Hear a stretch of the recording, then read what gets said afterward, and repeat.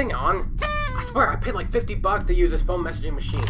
Oh, oh, wait a minute. The red light's blinking. Okay, that means it works. That means eh, that means it's working. Okay. Uh, hey man, it's me. I just wanted to leave you some recorded messages to keep you updated on the yard sale, and so you don't feel completely lonely. I would have taken the night shift with you, but our manager wants me to help out with customers during the sale and sort out what's left in the basement. You know what I'm saying? Honestly, I hope this this ends well for all of us. You know, after the First Charles Pizza Zone burned down and the incident with Terra's animatronics attacking the staff, I can't say I blame the CEO for quitting the entertainment industry, especially after being hit with a lawsuit when it wasn't even his fault. You know, once everything is gone, so is our place here. I'm probably gonna enroll in college to get a, my my degree at something. You, you know what? I'll talk about that stuff later. How about I tell you what's for sale? Okay. Alright, let's see. Um, okay. We have a set of arcade machines. A few good ones, actually. Like, there's like Mario Kart, DK Jr. and stuff. Those classics. A couple of plushies. And even some spare costumes for both the original and Rock Time animatronics. I'm not sure what people will want to do with the animatronic parts, but you know what what they say. Once a man's trash is another man's treasure. You know what I mean? uh, okay, I'm not messing around. I'm not here to judge anyone. You know, we're also gonna be selling some animatronics if we can find some, of course. But at the moment, that's all we have for sale. There's there's a box of full of both the burnt and the new animatronics, but we decide that it isn't worth anything. Now moving on. I'm also instructed to tell you what you will be doing on the night shift. You're basically monitoring the building from 12 a.m. to 6 a.m. to make sure no one breaks in and tries to steal any of, the stuff that's for sale. If you see any suspicious stuff happening, just confront them and tell them to leave. Or if there is ever an emergency, just call 911. That that is important. Remember that. Just a little heads up. These cameras are pretty old and will probably go offline after like a minute or so.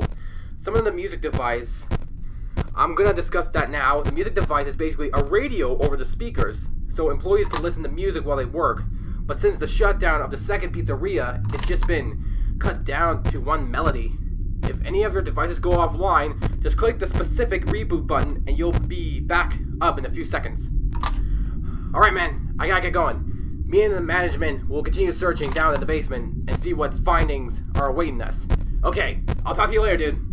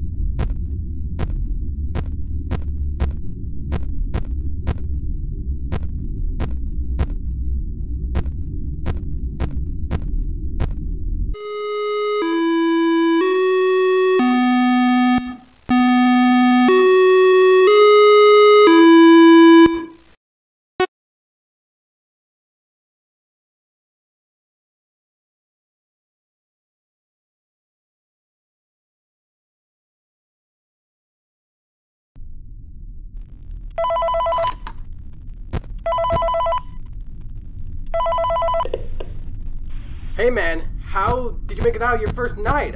Were you afraid of the dark or something?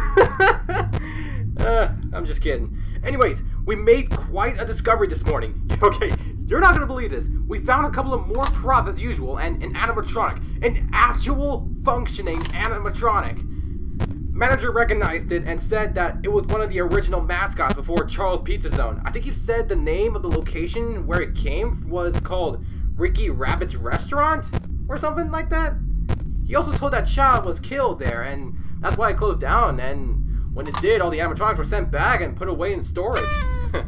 that's all I got for tonight. We're gonna continue the search in the basement and see what else we can find.